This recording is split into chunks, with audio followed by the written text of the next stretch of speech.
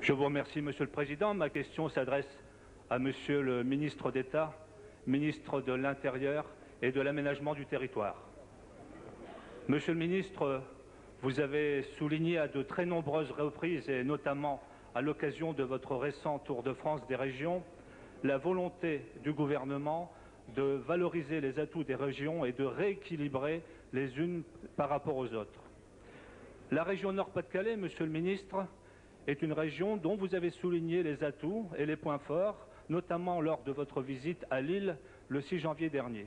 Il est ici inutile de les décliner à nouveau, notamment à la veille de l'ouverture du tunnel sous la Manche. Monsieur le ministre, malheureusement, au cœur de cette région, le bassin minier, l'ancien bassin minier du Pas-de-Calais, connaît aujourd'hui des difficultés qui ne font que croître et augmenter.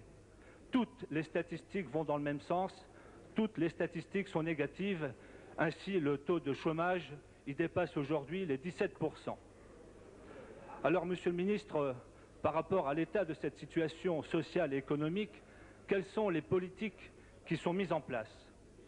Politique euh, européenne tout d'abord, vous le savez, de très nombreux parlementaires, y compris moi-même, avons dénoncé depuis longtemps l'exclusion de cette zone de la manne communautaire liée à l'objectif 1 qui la prive chaque année de revenus d'un montant de 200 millions de francs.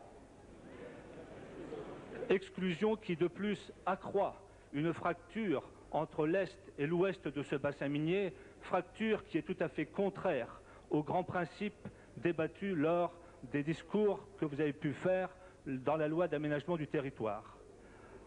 Politique nationale ensuite, Monsieur le Ministre, on l'a vu récemment, les conséquences de la signature de la charte entre les huit grandes régions de Grand Bassin parisien avec l'État, qui a pris une part prépondérante dans cette action, puisque plus d'un milliard de francs ont été accordés à cette action, ont conduit aujourd'hui cette région à être de plus en plus isolée. Alors, Monsieur le ministre d'État, euh, dans une période où les difficultés s'accroissent, où les politiques sont difficiles à mettre en place, vous avez euh, tenu un certain nombre de propositions qui ont été portées à l'information des parlementaires, et notamment l'augmentation de 23% du budget de l'État aux régions. Il se trouve, monsieur, il se trouve que monsieur le préfet de région n'a pas pu traduire cette augmentation. La question est simple, monsieur le président. Concrètement, quels sont les moyens réels qui seront accordés à l'ancien bassin minier du Pas-de-Calais pour lui permettre de retrouver ce qui lui est dû. La parole est à Monsieur le ministre d'État, ministre de l'Intérieur et de l'Aménagement du Territoire.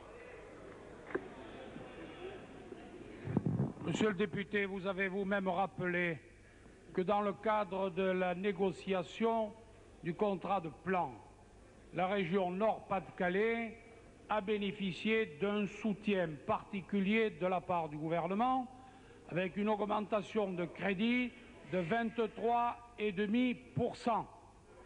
Je rappelle, je rappelle également pour mémoire qu'au-delà d'un certain nombre, que plus exactement, je rappelle également qu'au travers d'un certain nombre de structures, le GIRZOM, qui bénéficie de 605 millions de crédits, contractualisé au travers du FINORPA, au travers également du commissariat à l'industrialisation de la région Nord-Pas-de-Calais, le gouvernement a manifesté sa volonté d'aider au redémarrage économique de cette région. Je vous confirme aujourd'hui que telle est et telle reste bien sa volonté.